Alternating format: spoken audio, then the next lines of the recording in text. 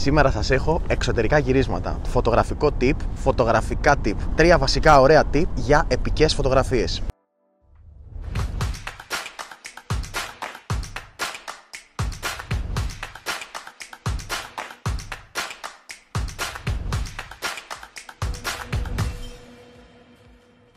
Καλησπέρα, καλησπέρα σε όλους. Καλώς ήρθατε σε ένα ακόμα βίντεο. Αν σου αρέσει αυτό το βίντεο, μην ξεχάσει να κάνεις ένα like, να πατήσει το κουμπί subscribe και το καμπανάκι να μην χάσεις κανένα από τα επόμενα βίντεο. Και τι πάμε προς τα πίσω; Έτσι, βόλτα.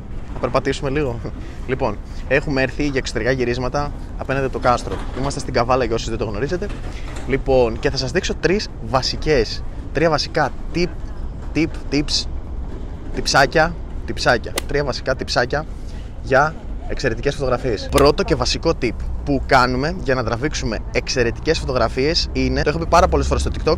Όσοι δεν έχει ακολουθήσει στο TikTok, φυσικά θα βρεις link κάτω στην περιγραφή. Λοιπόν, πρώτο και βασικό, τι κάνουμε; Ανοίγουμε το φωτογραφικό μηχανή. Το ήξερες; Δεν το ήξερες. Λοιπόν, έχουμε ένα ταπεινό iPhone 11 Pro. Το δικό μου τραβάει βίντεο. Παίρνουμε ένα iPhone. Ωραία. Ένα κινητό γενικότερα. Τα τυψάκια που θα δείξουμε είναι για όλα τα κινητά. Φυσικά δεν είναι μόνο για iPhone, αλλά δείχνουμε tips για iPhone. Λοιπόν, γυρίζουμε το κινητό μας ανάποδα. Το έχω πει πάμπολε φορές βέβαια. Αλλά ας δούμε πρώτα μια κοινή λήψη που θα τραβούσε ο καθένας. Θα πατούσε απλά και θα τραβούσε αυτό το κάδρο ή αυτό το κάδρο για να έχει μεγαλύτερο εύρος. Δηλαδή αυτό θεωρείται όρθιο, οριζόντιο, αυτό θεωρείται κάθετο, δεν πειράζει. Λοιπόν, τώρα γυρίσουμε το κινητό μας ανάποδα. Ιδανικά θα πρέπει να έχουμε και μια θήκη, εγώ την έχω βγάλει. Οπότε όταν το κουμπίσουμε να μην έχουμε ζημιά. Εγώ θα το κάνω λίγο πιο ψηλά. Λοιπόν, και βάζουμε το κινητό μας κάτω και τραβάμε ανάποδη λήψη. Οπότε, αν εγώ έχω το κινητό μου κάτω, κάτι γιατί έχω το καλώδιο, και πατήσω και κάνω τραβήξω από εδώ φωτογραφία, έχεις δώσει ένα πολύ καλύτερο βάθος. Εδώ είναι η φωτογραφία που έχεις τραβήξει πριν και εδώ είναι αυτή που έχεις τραβήξει μετά. Δίνεις πιο πολύ ωραίο βάθος, οπότε η φωτογραφία σου γίνεται ακόμη πιο καλλιτεχνική, ακόμη πιο επαγγελματική θα μπορούσαμε να πούμε. Και μόνο με ένα κινητό, έτσι. Δεν μετράει τόσο πολύ στη φωτογραφία τι έχεις να τραβήξεις, αλλά ο τρόπος και η γωνία λήψης. Πολύ βασικό, αυτό κρατήστε το. Και γενικότερα είναι αυτό, δεν ισχύει ούτε για τα iPhone ούτε για τις μηχανές. Ισχύει για οτιδήποτε φωτογραφίζει. Και ένα Nokia 3310, αν τραβήξεις από μια καλύτερη γωνία λήψης, θα πάρεις ένα πολύ καλύτερο αποτέλεσμα. Άσχετα που δεν έχει πολύ καλή μηχανή. Και το δεύτερο βασικό ποιο είναι, το φως. Το φως είναι το πιο βασικό πράγμα. Τώρα, αυτή τη στιγμή βλέπεις που είναι ο ήλιος, εμείς τον έχουμε από πάνω. Ο ήλιος πρέπει να είναι πάντα πίσω, γιατί αν είναι από πάνω δημιουργείται σκιά, όπως τώρα καλή ώρα. Κάτω, η σκιά, που δεν πρέπει να γίνεται αυτό. Οπότε τον ήλιο πάντα τον έχουμε πίσω για να έχουμε τη σκιά στο σημείο που θέλουμε. Πάμε να δούμε το δεύτερο tip. Είδαμε το πρώτο που γυρνάμε το κινητό μας ανάποδα για καλύτερες γωνίες. Και ελάτε να το ξαναδούμε αν θέλει μια φορά. Ελάτε.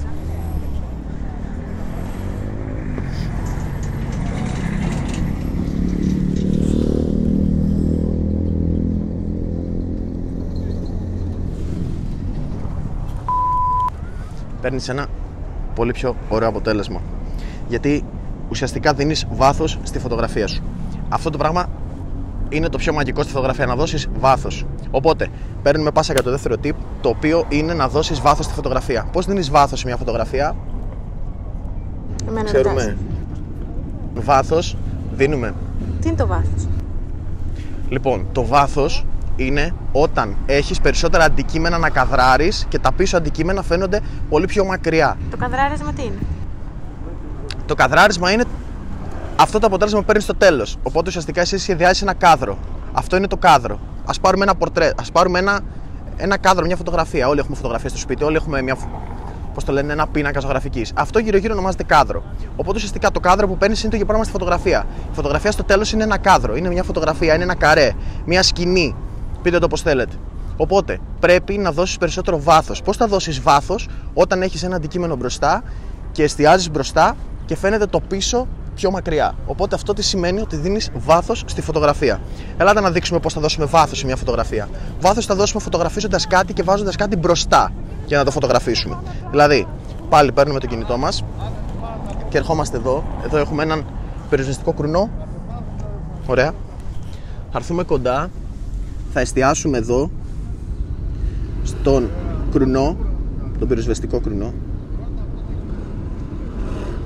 και θα φωτογραφίσουμε. Η φωτογραφία μας κανονικά θα ήταν κάπως έτσι. Ενώ τώρα που ουσιαστικά έχουμε εστιάσει απέναντι και έχει πάρει φωτορεοθόλωμα ή αλλιώς μποκέ ορίζοντας, παίρνει ακόμα πιο ωραίο αποτέλεσμα. Δεύτερο τύπο Οπότε κοιτάμε γενικότερα να φωτογραφίσουμε πρώτα αντικείμενα τα οποία είναι μπροστά. Αν δεν έχουμε αντικείμενο μπροστά, θα σας πω κάτι ακόμα. Μπορούμε να βάλουμε ένα χέρι με ένα ρολόι για να δώσουμε το βάθος. Δηλαδή, φωτογραφίζεις το χέρι σου με το ρολόι για να πάρεις ένα βάθος στη φωτογραφία. Ή βγάζεις και φωτογραφίζεις κάτι από την τσέπη σου, από τα χέρια σου ή γενικότερα για να μπορέσεις να δώσεις αυτό το ωραίο θόλωμα. Αυτό το ωραίο μποκέ. Ε, που σας αρέσει εσάς τους σκηνοθέτες. Κάνουμε δηλαδή τις λύσει πιο σκηνοθετικές, θα μπορούσαμε να πούμε. Σωστά; Καλά τα λέω. Ωραία. Λοιπόν, μάλλον. λοιπόν, και πάμε να δείξουμε και το τρίτο tip. Όταν έχει πάρα πολύ ήλιο, έχει μια πάρα πολύ ωραία μέρα. Σήμερα έχει πάρα πολύ ζέστη, έχουμε υδρώσει. Αυτό δεν σας νοιάζει όμως. Όταν έχει μια πάρα πολύ ωραία μέρα, το πιο ωραίο πράγμα που κάνεις είναι να φωτογραφίσεις. Αλλά έχεις ένα κακό πράγμα στον ήλιο. Πολύ φως. Υπερφωτίζονται τα πάντα. Στις κάμερες, γενικότερα, μπορείς να βάλεις φίλτρα. Υπάρχουν τα UV filters, υπάρχουν τα ND filters και γενικότερα μπορείς ουσιαστικά να σκοτεινιάσεις το περιβάλλον για να βγάλεις τα highlights, θα λέγανε οι φωτογράφοι. Δηλαδή, τα highlights είναι ο υπερφωτισμός, τα φωτεινά σημεία αλλιώς. Οπότε, θα σας δείξω έναν τρόπο, έλα λίγο πιο εδώ να φαίνεται το κάστρο, θα σας δείξω έναν τρόπο να σβήσετε τα highlights με ένα πολύ δυνατό και μαγικό τρόπο. Παίρνουμε πάλι το κινητό μας. Βέβαια, υπάρχει μια απαραίτητη προπόθεση, έτσι για να γίνει αυτό.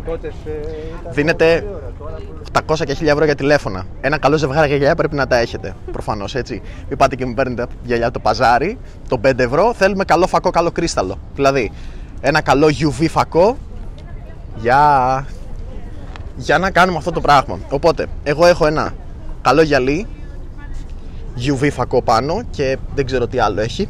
Και Polaroid νομίζω είναι. Λοιπόν, Οπότε παίρνουμε τα γυαλιά μας, ναι, πολύ καλά καταλάβατε.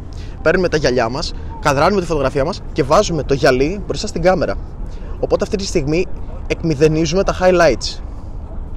Δηλαδή, άμα δείτε, βλέπετε τη διαφορά;